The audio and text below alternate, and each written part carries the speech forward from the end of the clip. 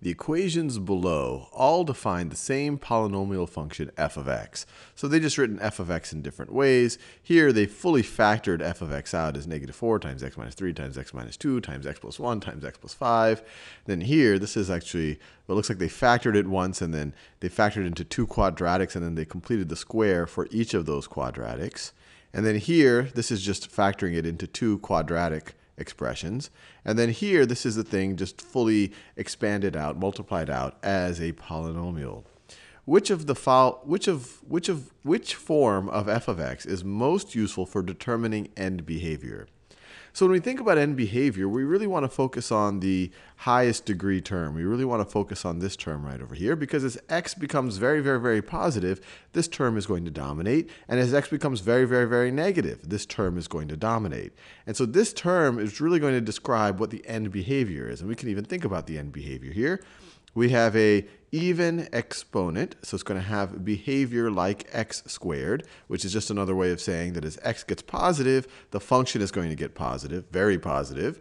And as x becomes very negative, the function is going to become very positive because it's an even exponent.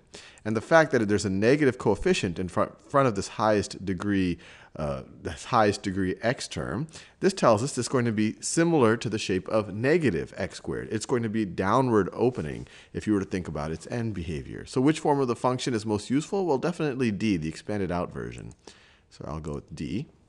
Select the equation below its similar end behavior to f of x. Well, we already talked about it.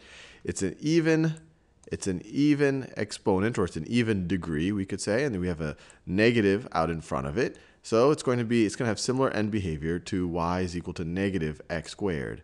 And then they say which form of f of x is most useful for finding zeros. Well, when we're finding zeros, we're trying to find the x values that would make the function equal to zero. And this first form right over here where we're all factored out, that's the most useful for finding zeros. We know that if the if we wanted to set this whole thing to be equal to zero, we said, hey, when does this equal zero? That means that one of these expressions, at least one of these expressions, need to be equal zero. We can independently set them equal to zero and then solve for x. So this would be zero when x is equal to three, x is equal to two, x is negative one, and x is negative five. So A is definitely the most useful, the most useful for finding zeros.